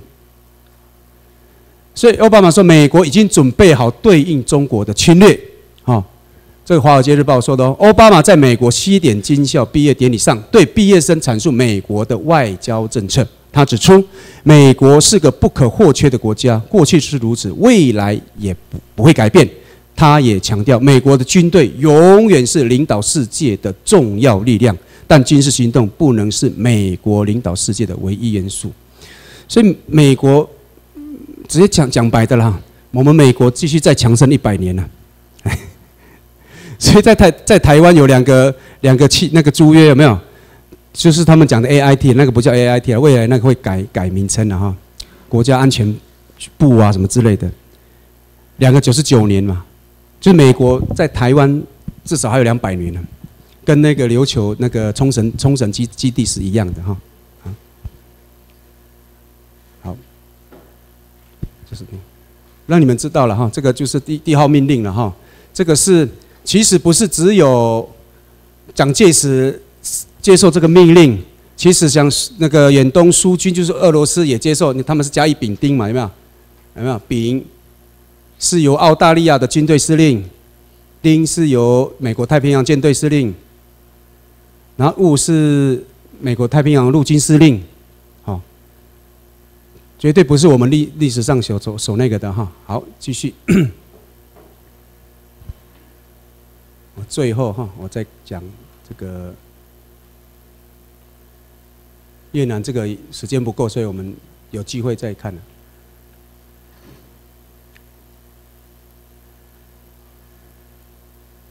好，好来，我们来看这个哈。我说美国的动作比台湾人的动作还大，只是我们在媒体上看不到。这是美国国防部长卡特讲的哈。亚太已部署两千架美机，美两千架飞机，哈，重申，哈，为了落实奥巴马提出的亚太再平衡，美军目前哦，目前哈，在亚太地区已部署超过三十五万名军事人员，近两千架的飞机，一百八十艘的船舰，未来十年，美国依然是亚太地区重要的力量。所以，哈里斯是太平洋太平洋司令部的所谓亚裔司令，也是美国海军唯一的亚裔四星上将，出生于日本横须贺，母亲是日本人。我在两年前跟我们乡下的像我这个年纪的人啊，年纪比我大两岁，我就跟他说：“啊，美军准备要来接管台湾了呢。”他说：“啊，你不要相信美国人啊，美国人哦只有利益了。”而且那么远啊，远水不能救近火。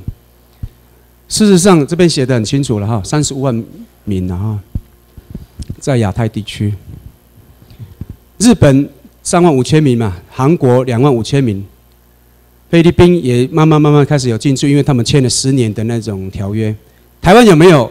早就有了哈，早就有了，只是说现在没有公开台驻台的美军的人数。因为你把它公布，岛内又会借机产生动乱了哈。我想我们就，我们就我们是授权，我们遵遵照授权机构的指示办理。因为占领区就是占领者的意志就是意志了哈，占领者的意志就是法律，啊，但是占领者有他自己要遵守的法规，就是战争法里面，像日内瓦公约、海牙公约、美美国陆军的 FM 二十七那些。都是他们占领者要遵遵守的，他们不能违反这个。但是呢，这个权限是由美国军事政府授权给台湾民政府的了哈。所以我们台湾民政府只能听美国军政府说，可以讲就讲，不行就不行啊。好，这边说美国要百分之六十的空军军力了哈，这个也就是我们一一般一过去的迷失了哈。我们一直认为说，台湾要独单单单独要去打中国有困难，根本不用讨论，是绝对有困难。以目前台湾那个中华民国的军队的整个 军备的对比哈，差太多了，真的差太多了，而且。台那个中华民国买的飞机都是那种二手的嘛，对不对？人家不要的坟场拿的，对不对？人家丢在那边，你要是不是去那边自己找，挑好的，挑好一点的，嗯，嗯，台湾是那个台湾人的钱是这样花掉的啦，根本不用花这个钱，就美国人直接来，哎，美国人真的来了，美国动作很大，来来，哎，奇怪，我那个。我没有弄出来吗？好，有没有？我们先看这个哈，来，美美军有没有？日本驻守美军上五千人，韩国、台湾的有，还不包含航舰打击群的哈，我打击群。我再看回去好了，找不到那个。来，美国第七舰队二十三年来首次增舰驻日，这是两天前的事了。哎，昨天呢？昨天的事情。这个这个这个叫做哈神盾级的，这个神盾级就是它是数位化的飞机了哈，也就是说，它透过另一个 link link 式系统哈来控制战区的这个所有的资讯，它配合卫星，它的 E2T，它的那个全球鹰，F X X 四七 B 的这一些空中。各种的角度，然后呢，看飞机或者是敌机是从哪个地方，是导弹从哪个地方，它非常的清楚。这个变成是一个指挥系、指挥船了哈，所谓的指挥船哈。好，他们已经来了，不是不是什么两年后、一年后的事情，现在已经在进行中，动作都很大了哈，动作很大了。好，哎，先给他们看一下 F 二十二好了，F 二十二哈，在台湾。来了来了好几次了，只是我上次有听到他他的在东海岸线，因为这是全世界最强的飞机地表最强的飞机。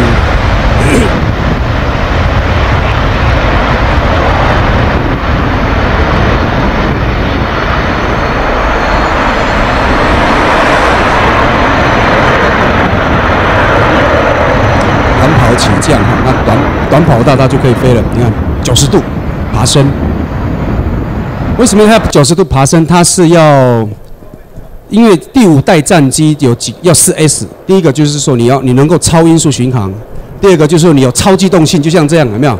它可以在气动力学它已经达到极致了哈，有没有？它直接垂直就上去了，有没有？直接垂直上去了，哦。F 十六做不到了，目前能够做到这个动作的只有苏凯系列的飞机，苏凯三十五做得到。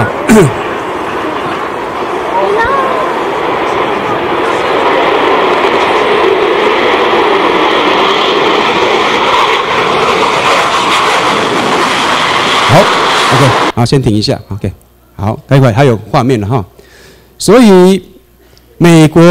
出面了哈，我们台湾就不用烦恼了哈，因为在台湾有没有？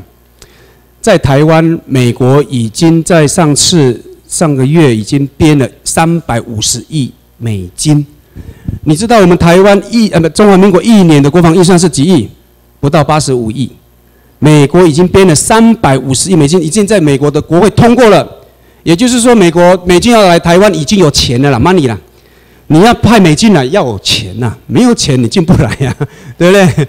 这个金那个大金卫卫卫行那个粮草先行嘛，对不对？五级扣够够够了哈，没有钱不要讲了哈。哦，这个是目前第五代战机，那现在唯一还在呃已经已经成功的是只有哎这个 F 二十二，这个是苏俄俄罗斯的 T 五十，这这个是这四架是是目前全世界啊全球最顶尖的了哈。但是跟你们讲，F 二十二是目前已经它已经有实战经验了哈，它的整个测试都已经很成熟了。那 T 五零是俄罗斯发明那个那个制造的，但是俄罗斯现在没有把它停掉了，为什么你知道吗？我急，因为美国用页岩油把俄罗斯，哦有没有？他们没钱就没没能力坐飞机了哈。好，再来 F 三十五现在还在试验中，因为 F 三十 F 三十五会分成 A、B、C，哦，日本的那个出云号就会搭载这个 F 三十五，因为它可以这样子垂直起降。然后这个 T 二这 T 那个歼二十，中国的歼二十，他说我们也有隐形，我们也有第五代战机，到现在还是试验当中了哈。因为什么？飞是没问题了哈。但是能不能能不能像 F 二十二那样有那种超，就是它的那种超机动性那么强的话，像它这样子可以这样垂直起飞，还是怎么样怎么飞，还是空中刹车的那个能力，可能还要再看看。所以可能再等个五年十年吧。那中国要继续研发这个飞机，有一个关键，如果它的经济崩盘，它也就就它的结局会跟这个一样，胎死腹中。所以都要用钱砸了哈，都要用钱砸。好，再来。好，我们先看那个 F 三十五哈，F 三十五，F 三十五原本是一亿两一亿两千万美金，现在已经跳到两两亿八千万美金了，太贵了。哦，这个是美国的那个突击舰，这还不是航空母舰呢，是美国陆战队用的突击舰哦。嗯，出云号也会。配置这个 F 三十五，所以每日中国哈，中国哈，看到日本有出云号已已经下水了哈，已经服役了，中国就在那边酸那个日本呢。他说：“啊，你们想干什么？未来迟早要装这个 F 三十五，为什么他们很在乎这个 F 三十五？因为这个 F 三十五可以挂载核弹头，核弹哈，它可以挂载核弹。”所以它是一个可怕的武器，它是逆中，所以逆中那个第五代战机有有四 S，就是超音速、超那个超超空性跟那个逆中逆中的那种 功能哦。也就是说，我我到了像 F 二十二有没有？除非到了三十公里，你才看得到它的踪影哦，否则的话，你你都看不到它。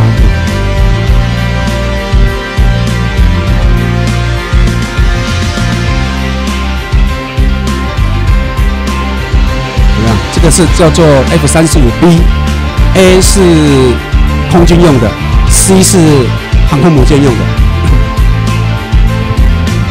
然后空中刹车、空中盘旋，跟直升机很像，而且它厉害就是怎么样，知道吗？它是超音速巡航。所谓超音速巡航，就是它不像我们的 F 十六要推 AB，可是推 AB 最最久不能超过十分钟，要不然那个引擎会烧掉。可是它可以。这种飞机可以超音速巡航，他们可以两马赫连续两马赫这样飞。好，OK，好，再来，再来哈。好，这个就是 B one 轰炸机。，B one 轰炸机它的它的那个什么，这这个四十几公尺一个跑道那么大，很大一只哈。然后那个 B two 轰炸机给大家弄一下，嗯嗯，我们看一下 B two 哈。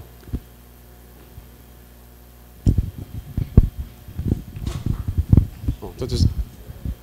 那个动画的 B two，哎，动画的，好，来来来来，刚刚那个是 B one，这个叫 B two，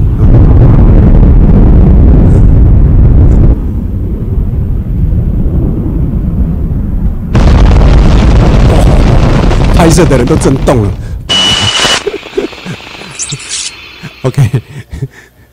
OK，OK，好，这就是 B one。这是 B B Two 的前身，这个也是逆中的那个轰炸机哦。要去炸南海的，应该是这一架，应该猜的没错的，应该是这一架最有它的最符合，它有逆中的功能啊。嗯，大型的哈啊，有没有？好，再来，好，出云号，哦，一只墨，一只墨，哦，出云号就是准备要在刚刚那个垂直起降的那个那个。那个 F 三十五哈，哦，这是它内装，它 F 三十五就躲在这个里面，它有那个升降梯，啊，表面平常它不会在那个，哦，这个就是公山羊跟那个那个进破防御系统哈，有没有？海拉姆，这是世界最精准的进迫防御，就是说导弹来的时候，这个会先先扫描到就开始发射，连续发射就要把那个导那个导弹先把它打下来哈。有没有？有没有看到？这个我从网络那边拿到的哦。这是 F 三十五哦，一八三，是一八三是出营号的那个编号，一八三。嗯，有没有 F 三十五？有没有阿帕奇啊，它这个没有长弓阿帕奇这边有个长弓雷达。那我们台湾的那个有长弓雷达哈。好，有没有？这个跟啊，这个辽宁号根本不是对手啦，这个这个靶船。因为辽宁号没有武装了哈，所以很危险。他连那个攻山养都没有，他那个防御系统都没有，所以他这个这个是作秀用的，就是政治政治性的那种宣传用的了哈。嗯，好，尼米兹级航空，美国光是尼米兹级哈，光是尼米兹级就十艘了，有没有？从 CVN 六八六九七十七七，在日本乔治华盛顿号是 CVN 七十三，所以。如果我们去东海岸哦，有看到这艘的时候，基本上应该是 CVN 七十三。这个你看，它就写七十三，就是华盛顿号了哈。嗯。哦，这个就是乔治华盛顿，有没有？上面都是 F 十八啦，哈，这些还有那个 V one。哎，好，有没有？来，我们看那个 F 十八起飞的起飞的那个英姿哈。哦，那个有音爆吗？那个有音爆吗？音爆云，嗯，有哈哦，第七舰队哈。其实还有一艘秘密武器的，就是那个福特号。福特号那个才可怕。福特号有搭载那个电磁轨道炮。那美国已经，美国的智库已经跟美国的那个国会讲说，台湾要这西海岸要部署二十门的那个电子轨道炮，因为电子轨道炮的速度比导弹还快。它的速度相当于呃九九英倍九倍，就九马赫。那一般的飞弹了不起四马赫三马赫，很容易被打下来。所以有了这些西海岸的那个电子轨道炮，而且轨电子轨道炮又便宜，找到了吗？音音爆云，F 十八的音爆云。绝不能错过超美音爆云，底加啦！像是一把云做的伞悬挂在飞机尾翼，这个就是音爆云。这是在美国弗吉尼亚州所进行的航空展表演。影片中这架战机就是时速高达每小时一万一千九百一十五公里的超级大黄蜂。而音暴雨的产生，其实就是当飞机速度超过音速时，声波朝四周传播，就像是圆锥体。当飞机飞过后，剧烈声响才会传到耳边。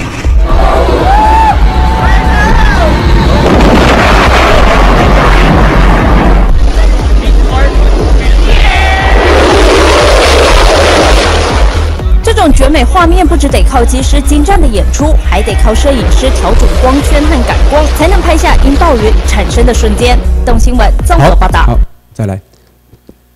最后哈，哦，这就是那个神盾级的，哦，这就令十六，有没有？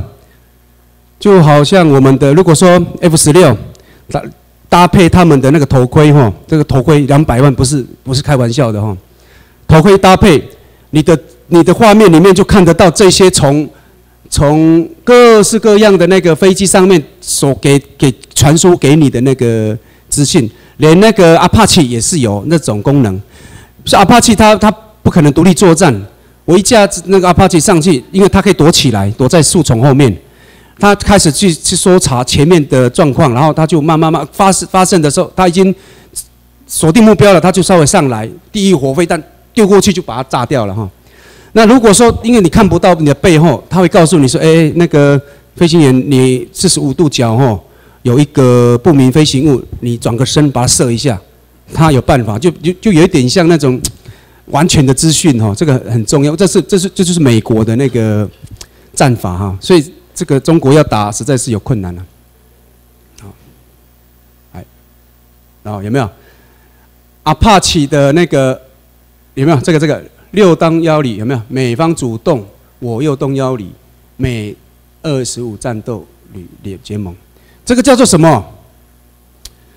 之一次之前都叫韩寒，我们讲讲哦，可能叫大家就不信了。美国直接动作了，接管的动作，这个叫接管的动作。也就是说，六东幺里不是黄皮肤的人当来来指挥了，是由美国人来指挥了，隶属在美国地区舰队、地太平洋司令部来去控那个，好，有没有？美国参院通过二零一六国防预算授权法，哈，邀请台湾参与军演了，哈，这个所谓的红旗军演，哈，红旗军演就是我们讲的 Top 杠都是。加强级中队当中有没有？奥巴马总统对参院编列六千一百三十亿美美金呢，十八兆台币。国防预算包当中包括三百五十亿美金哦，海外战争支出，特别是今年在美国国防预算中提出出现到台湾、日本、东南亚国家协会的相关条文。有钱了，美金要来了啦，有钱了就可以来了，以前是没钱呐。你只是美金要来，没钱你怎么来？对不对？我急压了哈，通过喽，这已经通过了。所以今年执政，你们还怀疑什么？对，停止选举了哈，这个一定是这样了，要不然他们编这个以前以前是从台湾拿钱不是吗？